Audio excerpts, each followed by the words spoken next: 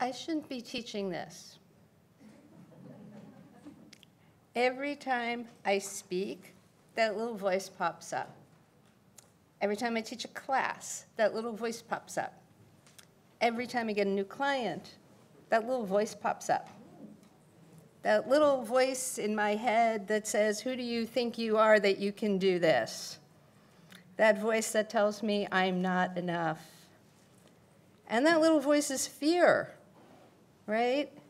Fear that I'm not smart enough, fear that I might make a mistake, fear that somebody will judge me, fear of being found out. That's imposter syndrome. So I'm not alone in that fear. Just look around the room. Okay? 70% of successful people, 75% of executive women, 80% of CEOs, 84% of entrepreneurs all report that they have felt like imposters at some point in their career. And my name is Dori Kelner. And I coach mindfulness at my company, Insightful Culture. Um, but I've been in the Drupal community uh, for oh, over, well over a decade, about 15 years. Um, because I also run a Drupal agency called Sleight of Hand Studios. And uh, so I consider this a pretty successful skill portfolio, right? So I'm curious how I could hold on to this imposter syndrome fear even when my experience proves that I'm perfectly capable. So imposter syndrome has to do with feelings of self-doubt and personal incompetence. And they persist despite your education, your experience, or your accomplishments. So I recently had to recertify my Red Cross training. So I'm driving over to the facility to take the in-person training with the dummies and you, you know, you do your CPR on the dummies, right?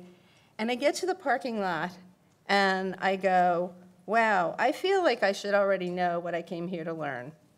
Right? All the butterflies came up like, oh, I don't, I don't know enough. I didn't prepare enough. I was already certified. And yet I still felt this way in the parking lot. Okay? So we want to prove that we're capable. And this is what helps us gain respect and admiration from people around us. That's a natural feeling, right? So we set our standards for success really high um, in order to gain that respect.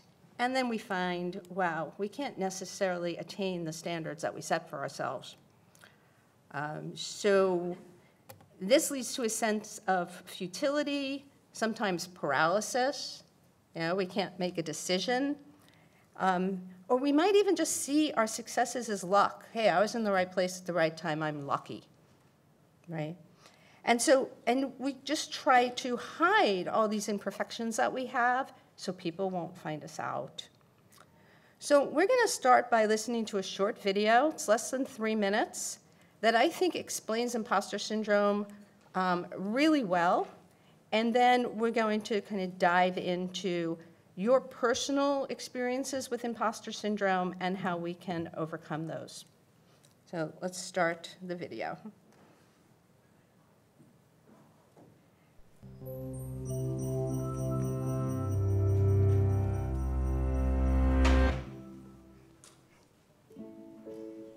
Even after writing 11 books and winning several prestigious awards, Maya Angelou couldn't escape the nagging doubt that she hadn't really earned her accomplishments. Albert Einstein experienced something similar.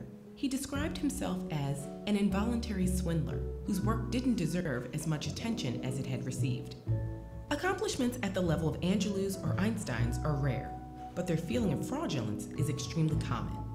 Why can't so many of us shake feelings that we haven't earned our accomplishments, or that our ideas and skills aren't worthy of others' attention? Psychologist Pauline Rose Clance was the first to study this unwarranted sense of insecurity. In her work as a therapist, she noticed many of her undergraduate patients shared a concern. Though they had high grades, they didn't believe they deserved their spots at the university. Some even believed their acceptance had been an admissions error. While Clance knew these fears were unfounded, she could also remember feeling the exact same way in graduate school. She and her patients experienced something that goes by a number of names imposter phenomenon, imposter experience, and imposter syndrome. Together with colleague Suzanne Imes, Clance first studied imposterism in female college students and faculty. Their work established pervasive feelings of fraudulence in this group. Since that first study, the same thing has been established across gender, race, age, and a huge range of occupations, though it may be more prevalent and disproportionately affect the experiences of underrepresented or disadvantaged groups. To call it a syndrome is to downplay how universal it is. It's not a disease or an abnormality, and it isn't necessarily tied to depression, anxiety, or self esteem. Where do these feelings of fraudulence come from? People who are highly skilled or accomplished tend to think others are just as skilled. This can spiral into feelings that they don't deserve accolades and opportunities over other people. And as Angelou and Einstein experienced, there's often no threshold of accomplishment that puts these feelings to rest. Feelings of imposterism aren't restricted to highly skilled individuals either. Everyone is susceptible to a phenomenon known as pluralistic ignorance, where we each doubt ourselves privately but believe we're alone in thinking that way because no one else voices their doubts. Since it's tough to really know how hard our peers work, how difficult they find certain tasks, or how much they doubt themselves, there's no easy way to dismiss feelings that we're less capable than the people around us. There is no easy way to dismiss feelings that we are less capable than those around us. So, how did we get here? So, maybe your family uh, send you messages about the importance of being naturally intelligent. How many of you were told, oh, you're so smart, you're so much smarter than everybody else, right? You're so much smarter than everyone in your class. Instead of saying to you, oh, I can see how much effort you put into getting that A.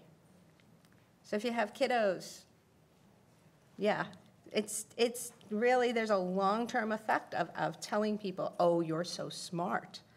Um, maybe you needed to get approval from your family. So you found you had this strong need to please, and you did it through showing your accomplishments. Um, you might have mi- gotten mixed messages about achievement um, in school, or you might be in a competitive work environment. Who's in a competitive work environment here? No one, right? Everyone. Um, and sometimes that just diminishes the importance of asking questions and saying, I don't know how to do that. Okay? So we live in this culture that reinforces this very toxic perception that you're born with your abilities. Okay? You just either have it or you don't. You're smart or you're not. And you learn to hide your struggles and you learn to hide, you, you know, to just focus on being infallible, being perfect, instead of being open and accepting challenges as opportunities and just being human. Um, these are all opportunities to learn and grow. We don't have to be afraid of being challenged. Um, so you also, particularly as the studies have shown, if you are an outsider, if you feel like an outsider, if you're part of a marginalized group, you tend to get this greater feeling of imposterism. Um, because there's this large cultural issue about, you know, also just faking our knowledge rather than telling people we don't know something. And then if you combine that with being in a marginalized group, you feel like you're going to be judged you know. And so we have this culture where it, it imposterism just festers because we're all afraid to speak up and ask for what we need. And then social media and technology, that makes it so much worse. Um, here's where we need to portray ourselves as happy and successful, right? You go on your social media and everybody's doing all these great things, and you're like, well, you know, hey, I've got to look like I'm doing all these great things. And wow, maybe you're being a bit of an imposter right there. So we're reinforcing the imposter syndrome by putting out this fake face into society. Um, and we have this, you know, great pressure in society to look and feel confident and successful. And here we are being frauds pretending that we're confident and successful. Um, so I'm going to flash some experiences on the screen. And take a moment to read each one and assess whether it applies to you. So these are just going to flash up. I dismiss positive feedback and compliments and overreact to negative feedback. I hold myself to insanely high standards. I think my success is due to luck.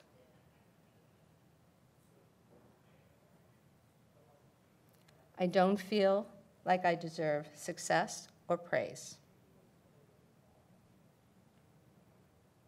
I'm a workaholic.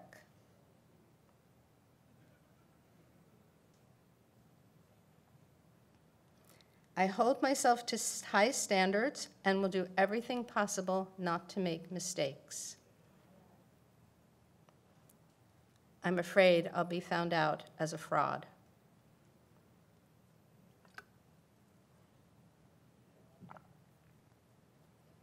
These are the thoughts associated with imposter syndrome. Um, it basically, whatever feeds this fantasy that we can be perfect. Um, so you start to lose perspective about what it takes to feel good about yourself. And because of that, you have all this fear. The fear spirals into anxiety and stress. So there's these two sides to imposterism. You know, one is you see yourself as a failure if you can't meet the standards, these perfectionist standards that you've set up for yourself. Um, you just kind of fear failure. This is sort of that general fear of failure. So in order to reduce the risk of failure, you don't step out of your comfort zone, or maybe you overwork to, to compensate for that. But on the other side, you're afraid that maybe your success will cause um, your coworkers or your supervisor to have greater expectations of you. So, hey, if I show I can do this, maybe I'll get more responsibility, and then somebody's going to find out I'm a phony because ultimately they'll put me in a position where I can't perform. So, you start to develop these coping mechanisms to manage your anxiety, right? So, you might work too much to prove yourself. Um, you might turn down opportunities for advancement. Um, women are notorious at this. They'll see a list of requirements for a job. If they don't meet 100% of them, they won't apply. Men, 40%, they're in the door. So again, it's different for different people and different groups, not to judge anybody on that, but those are the, that's the data that, that's coming out of the research. And so you might turn down all these opportunities for advancement and as you do that, again, the stress is building. Now, our coping mechanisms also, they don't align with our business objectives. So uh, there's a renowned, uh, internationally renowned expert on imposter syndrome named Valerie Young. And she says anyone who leads, manages, trains, or mentors other people needs to be aware of it. It's not a self help topic, it's a business imperative. The behaviors associated with imposter syndrome will have associated costs for the employee and the organization. So you're actually holding back the organization and other people as well. So Dr. Young identified five types of imposters, and knowing which category you fall into might help you manage your imposter syndrome. So we're going to go through those five types right now. And the first is the perfectionist. Okay, this is the person who thinks, you know, 99 out of 100 is a failure. And I remember in high school, you know, in, in all the classes I was in, if somebody got a 99, they were devastated. Anyone here ever do that? It's like, oh, I got a 90, I got one wrong. What's wrong with me? Yeah, that's the perfectionist. So maybe you make a mistake in a presentation and you beat yourself up over it. Um, you just want to be flawless all the time. Okay, so it's all about the process. Everything has to be right all the time. The next type is the expert. This is somebody who thinks that the quality, the quantity of their knowledge is what's important. So you see people who are constantly getting certification after certification, degree after degree, reading more and more books, getting more and more certificates, and they get held back because they feel they're never qualified enough. Again, you're not, you don't have, you don't have 100% of the qualifications, you hold yourself back. The soloist. This is somebody who thinks that if they didn't do it all by themselves, they don't deserve any credit. Okay? So if it just doesn't count. And these people tend to take longer completing tasks because they fail to ask for other resources. Maybe that sounds familiar to you. The natural genius, these are people who think that their intelligence is inherent. So they should have been born knowing how to be the perfect leader or the best coder, right? And if they have to struggle to master something, they can proves, that proves I failed. I'm an imposter. This is hard for me. Okay? And the superhuman. This is the person who thinks they have to be perfect in every aspect of their life. So this goes beyond work. I have to be the perfect mom, the perfect dad, the perfect coworker, the perfect community organizer, uh, the perfect partner, all at the same time. Never giving anybody else a chance to do anything, it's all about me. So we need to get out of this cycle of imposterism, and which is I'm going to define here as the gap between your actual performance and your ideal standard. That gap in there is your imposter syndrome. Um, imposterism, just, it interferes with your ability to accept that you have achievements, that you have done positive things, and this starts to impact your psychological well-being. Um, so you end up with burnout, emotional exhaustion, um, loss of motivation, your achievement starts to drop, and maybe you even feel guilt and shame. Um, just all of this just gets reinforced each time you go through a cycle of imposterism. And so the best way to overcome imposterism is to bring awareness to the narratives in your head. These stories and patterns that we carry along with us for our whole lives, and learning how to detach from them. Um, and by questioning these beliefs that we have about ourselves, that helps to weaken imposter syndrome rather than enforce it. This is the only way out, folks, is to start to think differently. There's no magic pill here. And you're not going to walk out the door and say, I'm cured. Okay? So, mindset theory is what helps is what we're going to talk about to help you change how you think about imposter syndrome. And it's a set of ideas based on the belief of whether you were born with a fixed set of abilities or you believe you have the capacity to grow. So these beliefs can influence your behavior. Okay? If you believe that your abilities are fixed, you end up blaming yourself for any shortcomings. So you, you probably hear in your head, I should be able to do that. I should know that. I should have had, I should have done that right. Lots of right and wrong, black and white thinking. That is a fixed mindset. And you tend not to look for uh, potential opportunities because when you start to learn something new, that's when you have to recognize that you're not perfect. Right? You have to learn something different. So you see all your challenges as obstacles and you avoid them so nobody can see that you might fail. Okay?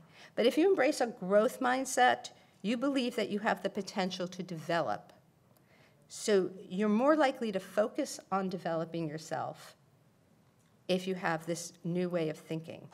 So challenges and feedback become opportunities for growth. And you start to value effort and motivation to learn. And this is what's going to help you make long-lasting changes. And they're going to be small changes, but they will stick.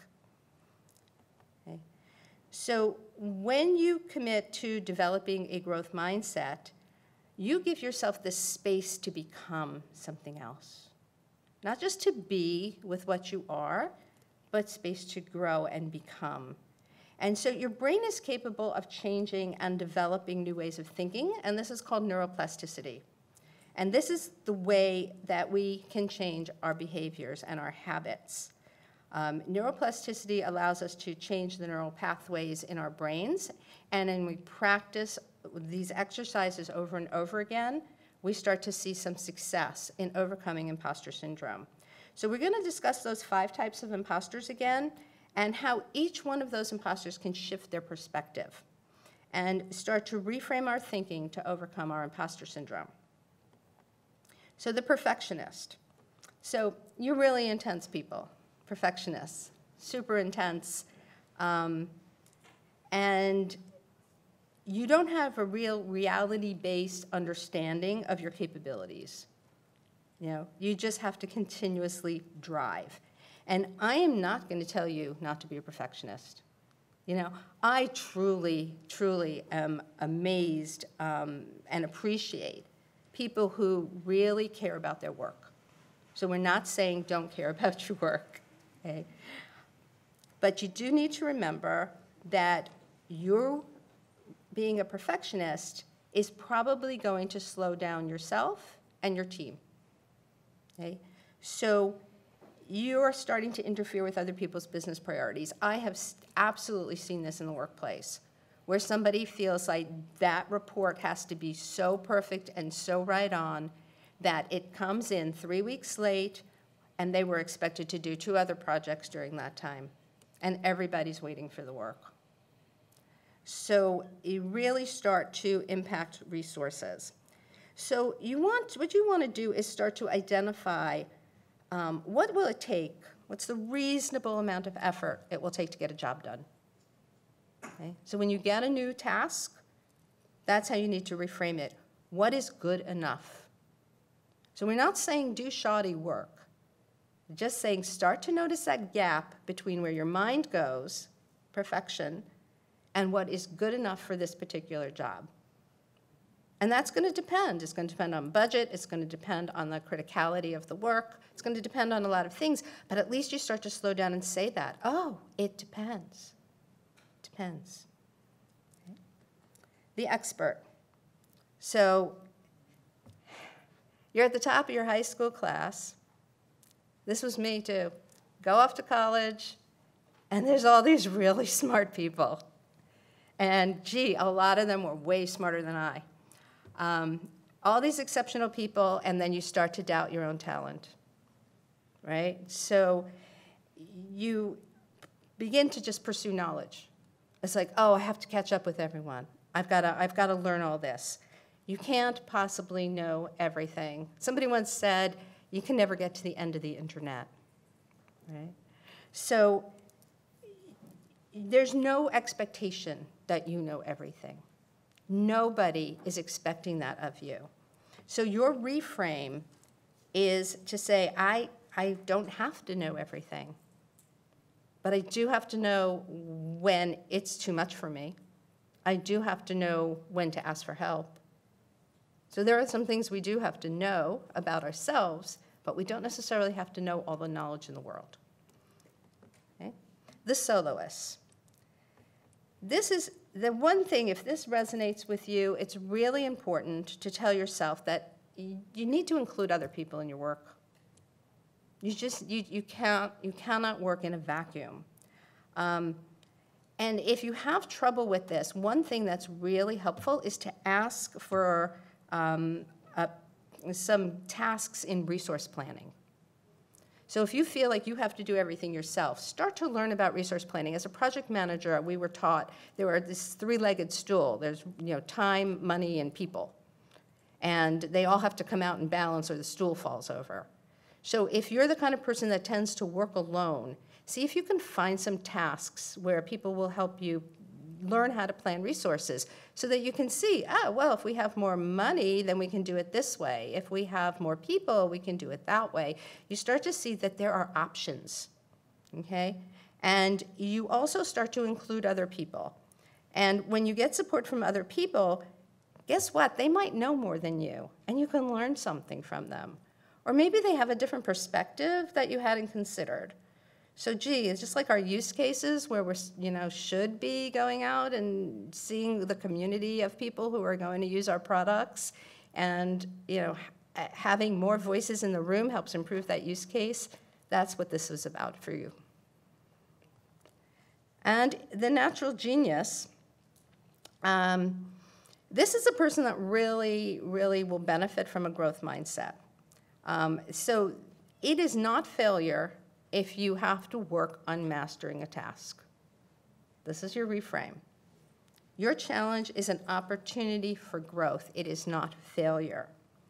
So you really need to move from that fixed mindset to the growth mindset. And so if you start a new project, um, maybe you start to keep a log each week. Here are new terms that I'm learning. Here are new people I'm working with. Here are new processes that I have to understand. And then meet each week with your supervisor, with a coworker, and talk about these things. And this helps to normalize that knowledge gap that we have. Just to say, okay, this is something new, and write it down and discuss it with somebody. Okay? And if you're the superhuman, attempting to be the best in every role that you're engaged in is not required. Okay? You're going to just keep setting yourself up for failure because nobody is perfect at all these different roles. Um, not only that, this sends out a really unhealthy message. It sends out an unhealthy message, especially if you're a supervisor and you have people reporting up to you, or if you have kiddos. What message are you sending to people if you say you have to be perfect at everything? You're just going to create more imposters, more people who are stressed out, who have to feel like they have to be perfect at everything they do. So don't set yourself up for burnout. Slow down Set some healthy boundaries, know when to say no to people, and delegate. So if this is you, start to delegate to others. And guess what? They want to feel valued too. Delegation is not a burden if it's done properly. It helps other people feel valued. So when you start to challenge these negative thought patterns and your beliefs, this helps you separate your feelings from facts and help you discover new ways of relating to yourself. Okay? So it's, it's all about the reframing, it's all about understanding different ways of thinking about yourself. So we're going to discuss now some really effective ways to change your perspective. Because only once we can change our perspective can we begin to overcome imposter syndrome. And I'll tell you, it never goes away completely, but we change our relationship to it. We change how we manage it and that will be a huge relief. So, first of all, give it a name. It's imposterism, it's imposter syndrome. If something has a name, that means other people are experiencing it as well. At least everyone in here is either experiencing it or is here because they have a coworker who they want to help who's experiencing it. And I guarantee you, you go back out into your, into your lives and you'll find this is true. So give it a name first, and then start talking to people. You're not alone. And we all are afraid that we're going to have this conversation with a friend, a coworker, a mentor, a colleague, and they're going to say to you, Of course you don't know how to do that. What were you thinking? Has anyone ever said that to their friends? No, not a hand went up. We don't say that to our friends. What do we say? You got this. We say, You got this. Right before I started, somebody sent me a text and it said, You got this. Which was like, Great, you just reinforced everything I'm doing. So, you know, your, their feedback is going to help you learn that other people feel the same way you do, normalizing these, feel, these fears. Okay? Now, many of us dismiss compliments that we receive. This is a tough one. You're like, I don't deserve that compliment. Okay? So the next time somebody pays you a compliment, write it down. Give yourself the space to really appreciate it and thank them. Just say, Thank you. I appreciate that. Okay? It might feel like it's not enough, it might feel phony, but again, it's changing those neural pathways in your head to acceptance that you are enough. Okay? So listen to those words. Now, I suggest you write them down, you store them in a folder, store them in an email, put them someplace. You know, some people just like write them on stickies and put them all over their cube or their, their laptop. And the next time you start to feel this imposterism, go look at them. Yeah, I think I can do this. Okay. Now, quieting your inner critic. Even if you're not experiencing imposter syndrome, lots of us have that inner critic in our heads, right? That one that says we're, you know, you did this wrong, you're, oh, I should have said this, I should have done that. Okay, we can't, we can't necessarily change this, but we can start to understand that that's human. It's absolutely human. It's proof of your humanity that you have self-doubt. Okay? Humans are not perfect creatures. So we're all works in progress. And if you only remember the mistakes you make, you need to start practicing thinking about what's good. So every time you start having these critical thoughts about yourself, I want you to take out a pen or a pencil. Not, not your laptop, nothing digital, actual physical writing, and write down three reasons why that's wrong. Three reasons why that's a lie. Okay? So once you start to see this evidence, it's going to change your bias towards negativity. This allows us to start paying attention differently to what we think. So taking that space to break out and say, aha, no, no, this isn't true. I'm not that person. And I highly recommend starting a meditation practice. Um, this also helps you quiet your inner critic. Um, becoming aware of your breath and body can really calm down your nervous system. And this gives you that space that you need to become more aware of these stories and patterns that we all have in our heads. Those stories and patterns aren't true.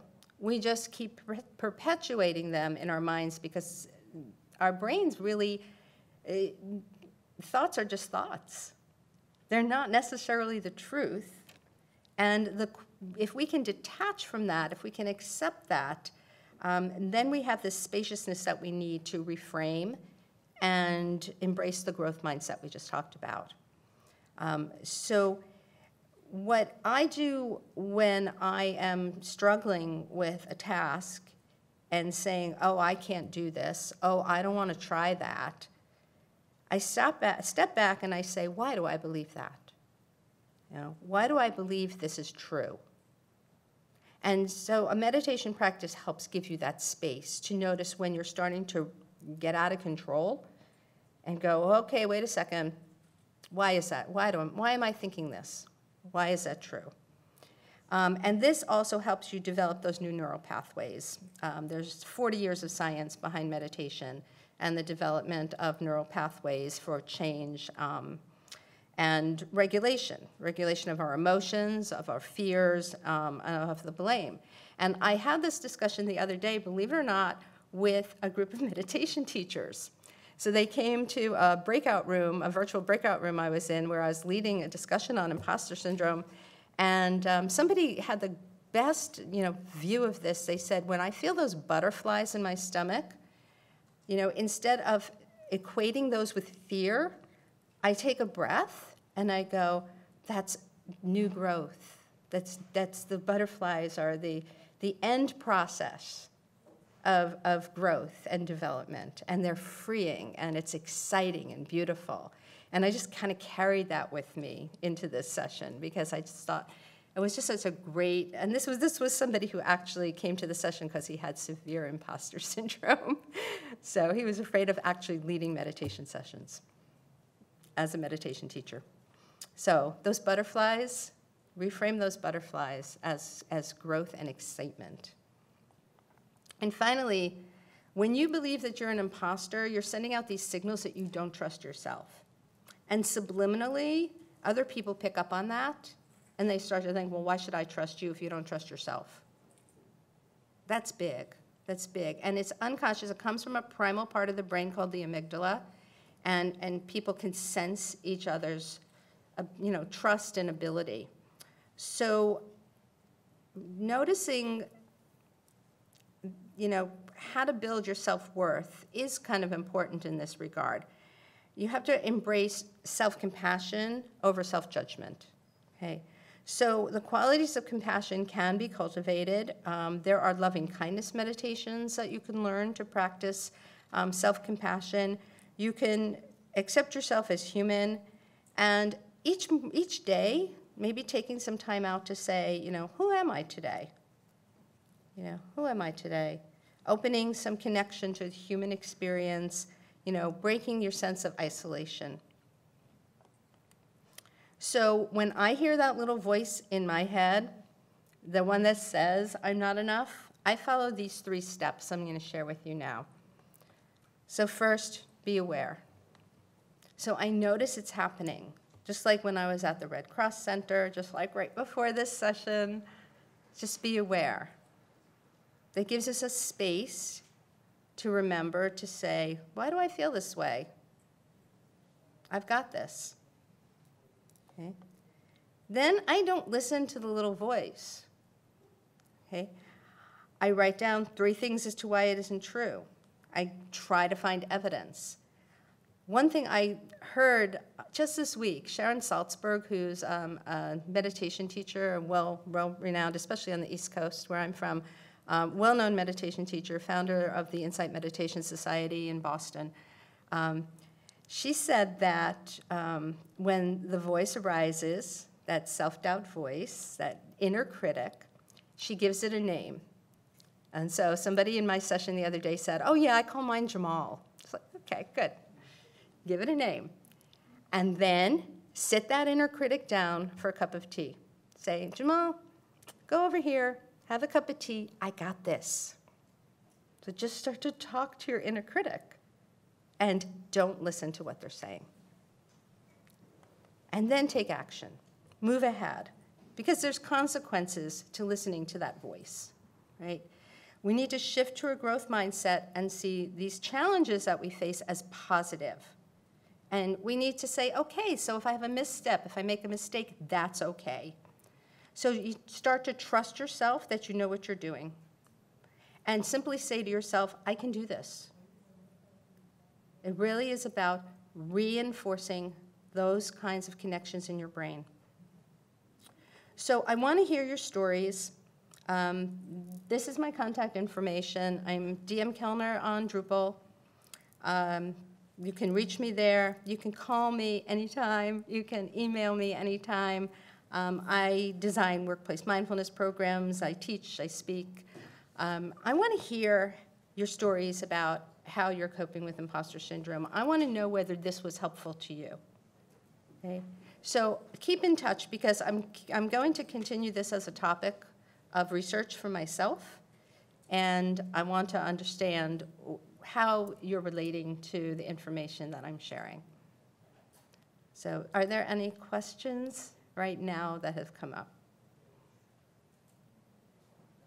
I'll give you a moment to think.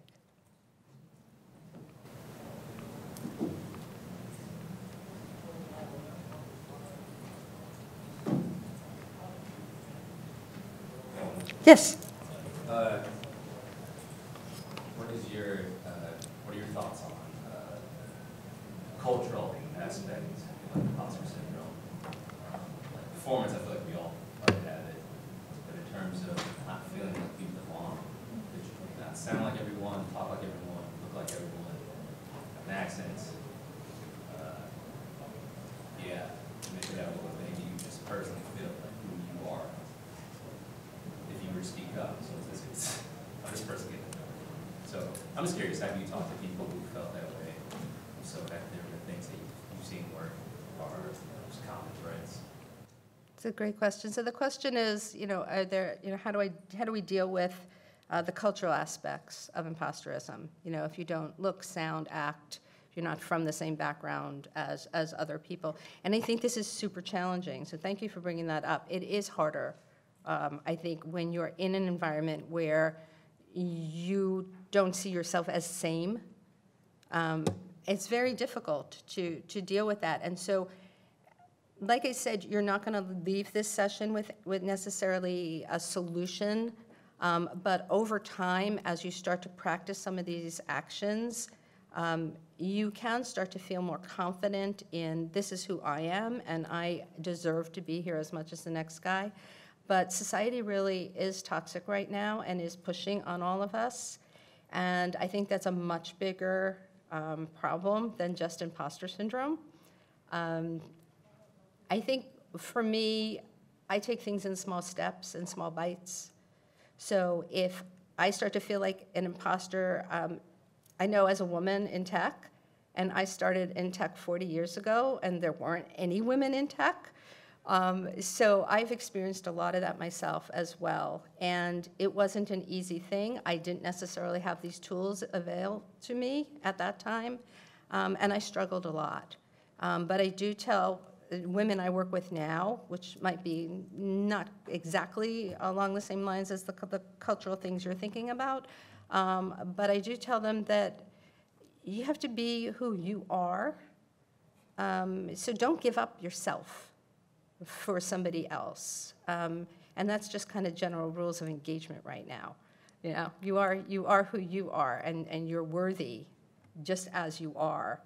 Um, but practices like meditation um, do help to reinforce that the brain is capable of changing, which also means it's capable of making you feel like you are deserved in that space. And your own strength in your convictions um, are really what you have to fall on. You can't change other people.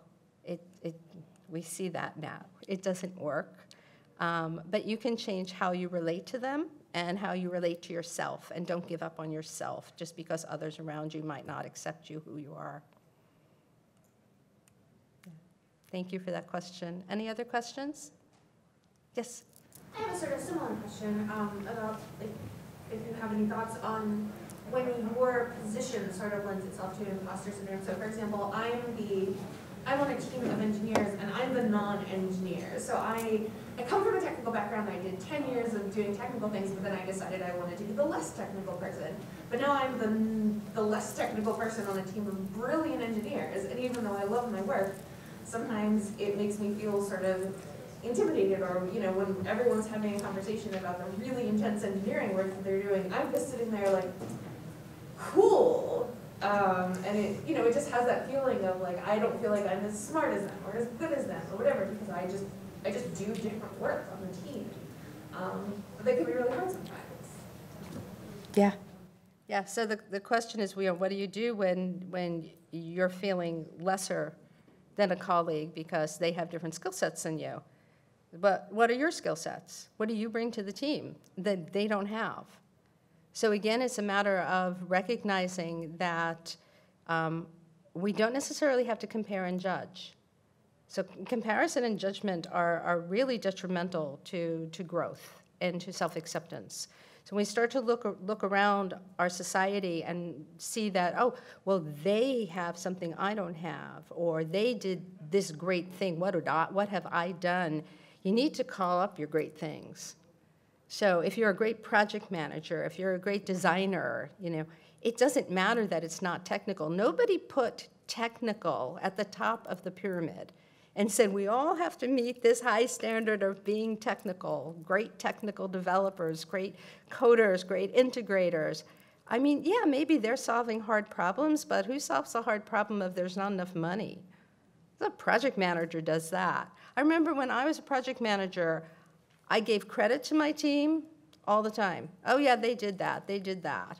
But when something hard comes up and it didn't work out quite so right, I was like, yeah, that was, that was on me. So, you know, there are, there are hard things that every individual, regardless of industry, regardless of position, regardless of rank, regardless of um, career path, everybody's got hard things, challenges and whatever, and everybody has successes. So the more confident you are in your own successes and say, yeah, I, I did that, it might not come up at the table because you're discussing a technical problem, but that doesn't mean that you're lesser. It means you're different. And different is fine. We're all different. We all have different desires and different goals. I moved from tech into being a mindfulness teacher. I don't feel any lesser. I don't feel like I can't come to this conference that I've been coming to for a, dozen years and not feel like I'm part of the community. So just keep reminding yourself this isn't my time to shine, this is their time to shine. That's great. I have my time to shine as well. Okay? Did that help? Okay. Any other questions? Yes. What did you tell yourself before you got up here today to kind of talk yourself off the ledge? The question is, how did I talk myself off the ledge before I came up here today? Um, I told myself that I was prepared, that I, I did the research, I did the work, I put together the presentation, I practiced the presentation.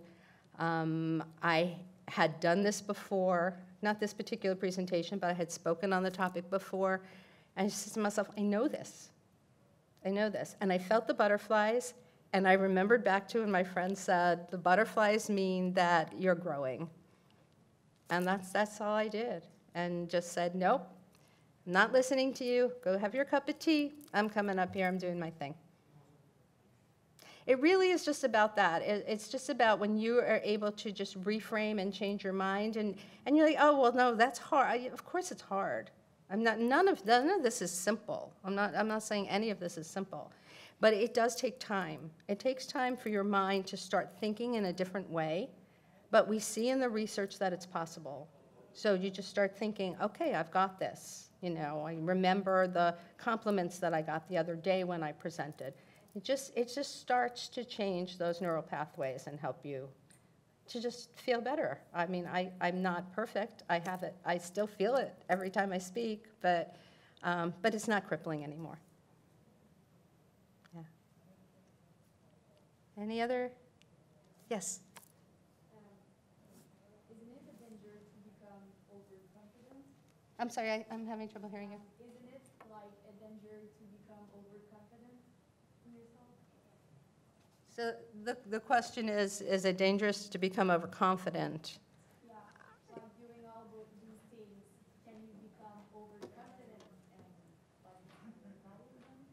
So I, I don't know that, we tend to see imposter, imposter syndrome in people who are, you know, highly capable. And, and so the odds of you becoming overconfident in your capabilities is probably not really there. Um, you are competent. You are perfectly competent at doing your own work. And I, I don't think any of these kind of lead to arrogance. Um, it's just a way, kind of, I love the way you just said that, talk, talking yourself off the ledge. Um, it's not, I'm not looking for people to have this toxic positivity, this, you know, overconfidence and, and I can do anything attitude.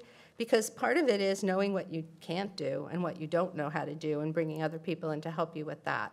Um, so I, I don't think that, that we're, we're not necessarily looking for you to just run out in the world and say, I can do anything.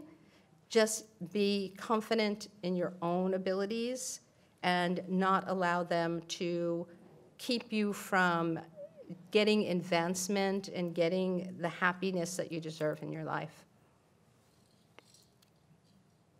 Yes? Um, I was wondering if you had any tips for how to frame conversations when working with people who are, like, for example, perfectionists. Um, Like, I'm a project manager and I work with a lot of, work with a lot of perfectionists, and it's really hard to say, like, stop working on that, it's good enough, because that can easily be interpreted as you were too slow or something like that. How to, how to tell someone, like, you're doing a great job, but don't don't make it perfect? Right, right, the, good. The question is, you know, how do you work with somebody who's a perfectionist, you know, without telling them, you know, oh, you were too slow, you know, not, not making it into a negative. And I think it's, it's similar to what I said earlier, where I, I would never tell a perfectionist to not be a perfectionist. You know, make sure they understand that you totally appreciate the effort that they put into their work. So when you're working with a perfectionist, you want them to maybe include them in some of the underpinnings of the project, let them see the timelines and the budget and the schedule and how it all fits together. Because I think project managers, you know, and supervisors, they have that perspective that their, their teammates don't necessarily have. When you start to include people in your perspective of the work, because we all have different perspectives. They have the perspective of, oh, maybe I'm building this, this module, or I'm, I'm doing this integration, whatever piece they're working on, and they tend to have tunnel vision on that. And if you start to include them in, here's where you fit in, and this is why I need you to help, help me, I need you to help me figure out, you know, how much effort is reasonable for you to put into this. Um, Because, you know, eh, I've also seen, you know, somebody has a $50,000 project, they put in just as much effort as a $50 million project. And these perfect- perfectionists don't see the difference.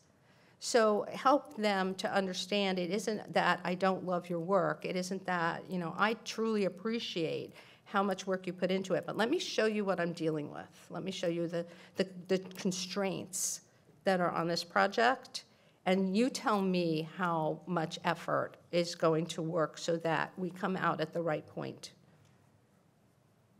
So I think involving people in discussions that let them see a different perspective, particularly perfectionists, helping them to see other perspectives um, is very useful. Anything else? I think we're pretty much at time. What I'd like to do is invite you to a couple of sessions that I'm leading the next four days. This is the first time we're doing um, chair yoga and meditation and DrupalCon, and I'm so excited to be leading these sessions. So if you're curious, um, you know, chair yoga, any type of yoga is actually moving meditation. Um, and then on, we're doing that Monday and Tuesday, and then Wednesday and Thursday, we're doing mindfulness meditation, where I'll be leading the group. Um, each one of these sessions will be about 25 minutes to a half hour, depending on whether you have to run to the next session. I don't want to hold you, keep you from getting to your to your sessions. Um, but I invite you to join me, and um, it's in a funny place in um, G129 and 130. You kind of go down the hall here, and you'll see like a yellow tunnel. Walk into the light. Let's go towards the yellow tunnel, and, um, and you'll find us right, right down there. You'll see sign, there's signage at the beginning and end of the tunnel. So um, I invite you to join if you're interested in, in, in any of these, um, learning a little bit more about meditation, or reach out. Happy to talk anytime. And thank you so much.